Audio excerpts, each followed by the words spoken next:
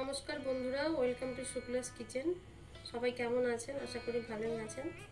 তো সামনে আমাদের পুজো পার্বণের দিনগুলো আসছে।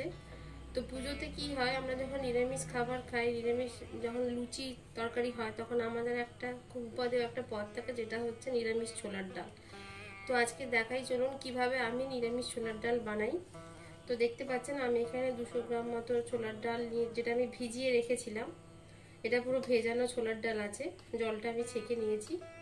আর রয়েছে অল্প নারকেল কুচি, একটু চিনি, হলুদ গুঁড়ো, লঙ্কা গুঁড়ো অল্প, লবণ, একটা মিডিয়াম সাইজের টমেটো কুচি, আদা বাটা, জিরে বাটা আর কাঁচা লঙ্কাটা আমি একটু থেতো করে নিয়েছি। আর রয়েছে একটু ঘি। তো চলুন, এবারে আমি কীভাবে প্রিপেয়ার করি এটা দেখাই আপনাদের। ছোলার ডালটা প্রেসার কুকারে চুবিয়ে দিলাম। এবারে আমি জলটা, পরিমাণটা দেখিয়ে দিচ্ছি।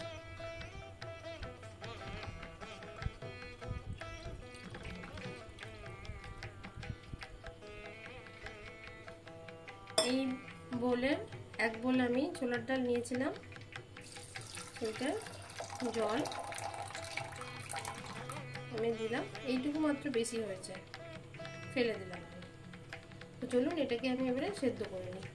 তিনটে সিটি দেব প্রেসারে।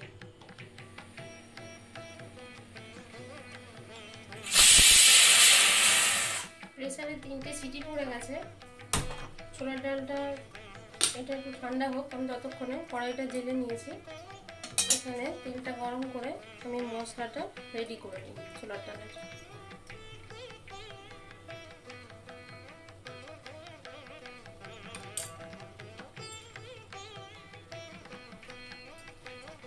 সর্ষের তেল নিলাম।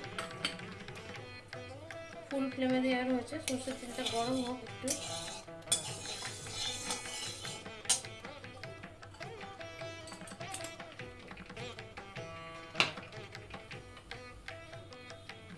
হালকা গরম হয়ে আসছে। তখন আমি তেজপাতা দুটো দিয়ে দিলাম।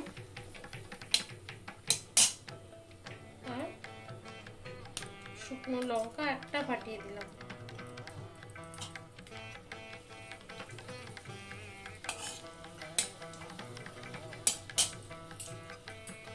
আমি না অল্প একটুখানি পাঁচ ফোড়ন ইউজ করব।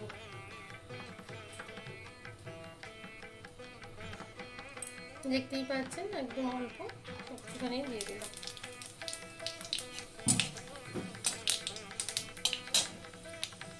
এবারে আমি অল্প একটু হিং দিয়ে নেব। ফ্লেমটাকে পুরো কমিয়ে নিলাম।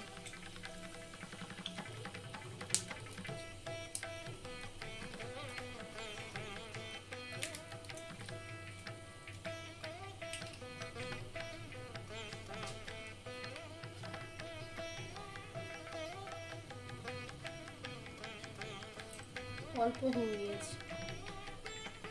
অল্প হিং আমি দিয়ে দিলাম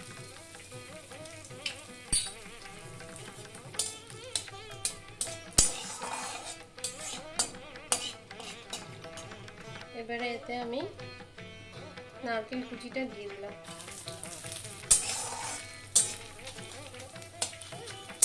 নারকেলটা অল্প অল্প ভাজা ভাজা হয়ে আসবে।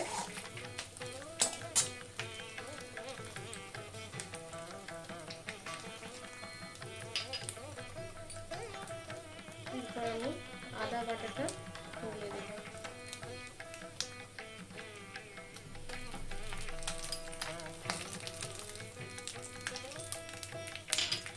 সাথে জিরে বাটাটা দিয়ে দিলাম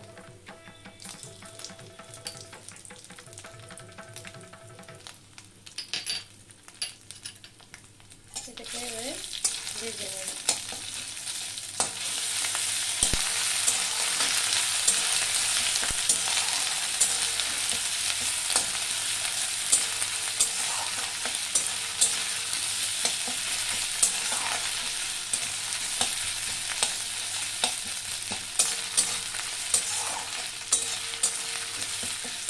অল্প ভাজা ভাজা হয়ে আসবে। এবারে আমি টমেটোটা দিয়ে দিলাম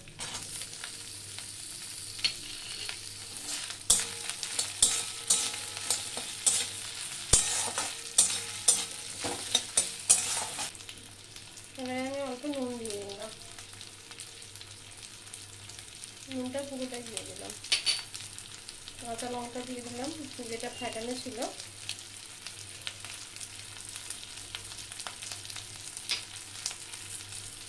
শুকনো লঙ্কার গুঁড়ো অল্প দিয়ে দিলাম।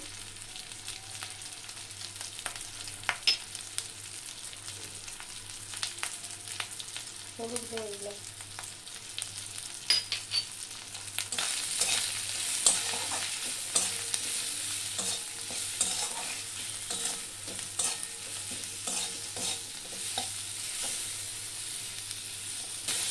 দেখতে পাচ্ছেন টমেটোটা এর সাথে ভালো করে মিশে গেছে, আমি অল্প জল দিয়ে দেবো।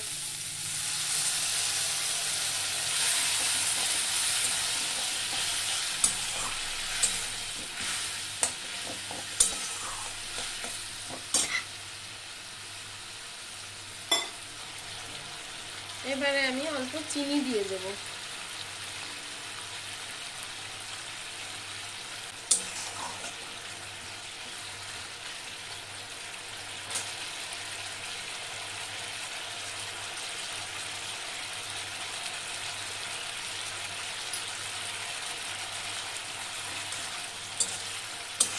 আমি কিন্তু ফুল ফ্লেমেতেই দিয়ে রেখেছি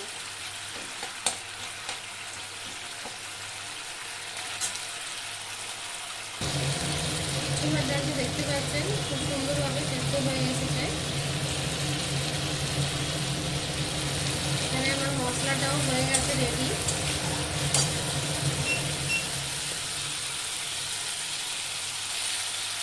মশলাটা রেডি হয়ে গেছে। ছোলার ডালটা সেদ্ধ হয়ে গেছে সুন্দরভাবে, আমি এবারে ঢেলে দিলাম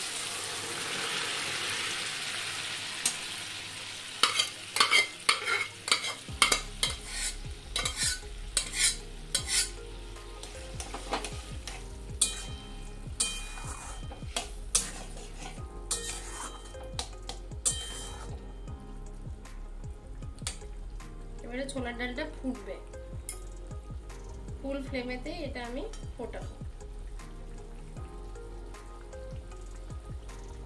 এতে আমি একটু ঢাকা দিয়ে দেবো। যেটা দেওয়া ছিল ফুটছে।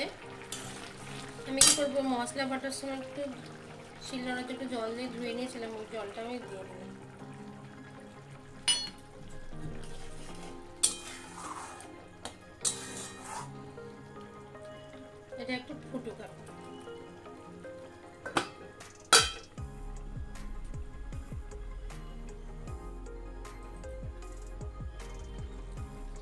দেখতে পাচ্ছেন রেডি হয়ে গেছে। ছোলার ডাল। তো চলুন, এবারে এটাকে আমি একটা জায়গায় তুলে নিই। কীভাবে পরিবেশন করি, ওটা দেখাই। দেখতে পাচ্ছেন, বাটিতে আমি ছোলার ডালটা ঢেলে নিয়েছি। একটু অল্প বাটার ছড়িয়ে দিলাম। বাটারটা আপনাদের কাছে অপশনাল আপনারা চাইলে দিতে পারেন, নাও দিতে পারেন। আর এর উপর একটু অল্প গোলমরিচের গুঁড়ো ছড়িয়ে নিন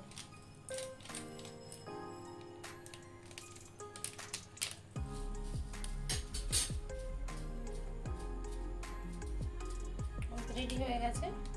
নিরামিষ ছোলার ডাল। সুস্থ থাকবেন ভালো থাকবেন। দেখা হবে পরের ভিডিওতে